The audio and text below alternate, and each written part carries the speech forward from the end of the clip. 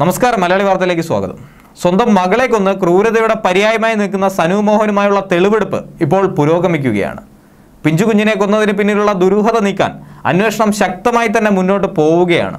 ഇതിനോടകം തന്നെ മനസാക്ഷിയെ തകർക്കുന്ന പല വെളിപ്പെടുത്തലുകളും പുറത്തു വന്നിരുന്നു.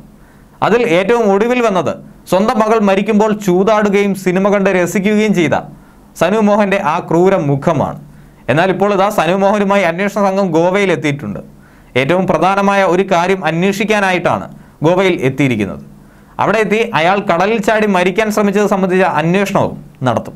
തെളിവെടുപ്പിന്റെ മൂന്നാം ദിവസം സനു മോഹനുമായി അന്വേഷണ സംഘം ഗോവയിലെ മുരുടേശ്വറിലാണ് എത്തിയത്.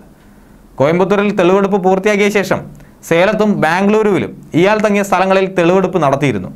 ഗോവയിലെ ഉൾക്കടലിൽ ചാടി മരിക്കാൻ ശ്രമിച്ചപ്പോൾ ലൈഫ് ഗാർഡ് വന്ന് രക്ഷപ്പെടുത്തിയെന്ന് സനു പറഞ്ഞത് സത്യമാണോ എന്നും പരിശോധിക്കും. തുടർന്ന് കൊല്ലൂരിലെ ഹോട്ടലിലെത്തിച്ച് തെളിവെടുപ്പ് പൂർത്തിയാക്കും. ഈ കേസിലെ ഏറ്റവും പ്രധാനപ്പെട്ട ഒരു കാര്യം മുംബൈയിൽ നിന്ന് ഡി സി പി തിരിച്ചെത്തിയതാണ്. സനുമോഹന്റെ സാമ്പത്തിക തട്ടിപ്പിനെ കുറിച്ച് അന്വേഷിക്കാൻ വേണ്ടിയാണ് D C P Aishwarya Dongre മുംബൈയിലേക്ക് പോയത്. വെള്ളിയാഴ്ച ഇവർ തിരിച്ചെത്തി. ഇവരുടെ കൂടെ പോയ പോലീസുകാർ അടുത്ത ദിവസം കേരളത്തിൽ മടങ്ങിയെത്തുവാൻ തയ്യാറെടുക്കുകയാണ്. കോവിഡ് വ്യാപനത്തെ തുടർന്നാണ് ഇവർ മടങ്ങിയെത്തിയത്. മൂന്ന് കോടിയോളം രൂപയുടെ തട്ടിപ്പ് കേസാണ് മുംബൈയിൽ സനുവിനെതിരെ രജിസ്റ്റർ ചെയ്തിട്ടുള്ളത്. ഇവിടെ ഇയാൾക്ക് സ്റ്റീൽ ഷീറ്റിന്റെ ബിസിനസ് നടത്തുന്ന സ്ഥാപനമുണ്ടായിരുന്നു.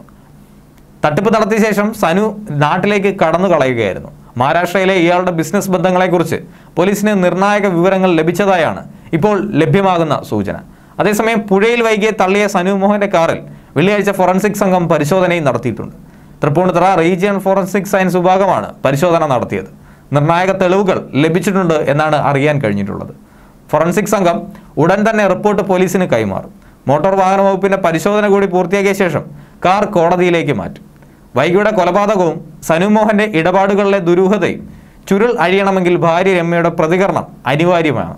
കേസിലെ രമ്യയുടെ മൊഴി അതീവ നിർണായകവുമാണ്. എന്നാൽ രമ്യ ഇനിയും പ്രതികരിച്ചിട്ടില്ല. ആലപ്പുഴയിൽ പോലീസ് നിരീക്ഷണത്തിൽ കഴിയുന്ന രമ്യ തൽക്കാലം പ്രതികരിക്കുന്നില്ല എന്ന നിലപാടിലാണ് ഉറച്ചു നിൽക്കുന്നത്.